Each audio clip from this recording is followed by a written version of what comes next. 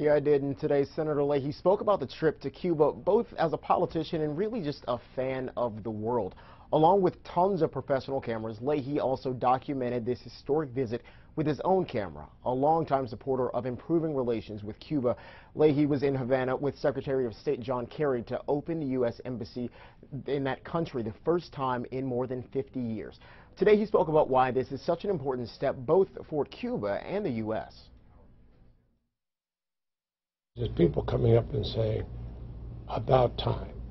It's beneath uh, the ideals of our country. We speak of freedom. The important thing is, it is going to give far more exposure to the U.S. and to our ideas.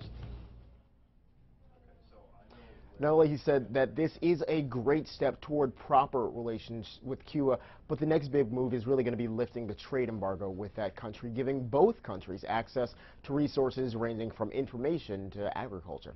The news conference was supposed to happen over the weekend, but Senator Leahy got stuck on a runway in D.C. for a couple of hours thanks to that massive computer glitch that grounded and delayed thousands of flights. But Stephanie, the senator says that he is already ready to make another trip back to the country. Live in Colchester, Jared Hill, WPTZ, News Channel 5.